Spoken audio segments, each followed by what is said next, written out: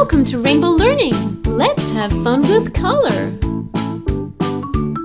Purple